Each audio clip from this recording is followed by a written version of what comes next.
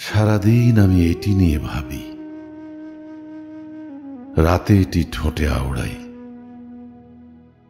আমি কোথা থেকে এসেছি? আর আমাকে কি করতে হবে? আমার কোনো ধারণাই নেই। এ আমি নিশ্চিত। আমার আত্মা অন্য কোথাও থেকে। আর আমি ওখানেই শেষ হতে চাই। এই পাগলামি শুরু অন্য কোনো সরাইখানায়। আমি যখন ফিরে আসি এই জায়গায়, আমি তখন তুমুল প্রশান্ত। এর মধ্যেই আমি যেন অন্য মহাদেশের কোনো পাখি। এই পাখির দেশে বসে আছি। আসছে সেদিন।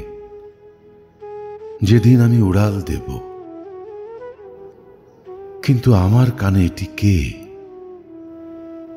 এখন যে আমার কণ্ঠ শুনে, কে সে যে কথা বলছে আমারই মুখে?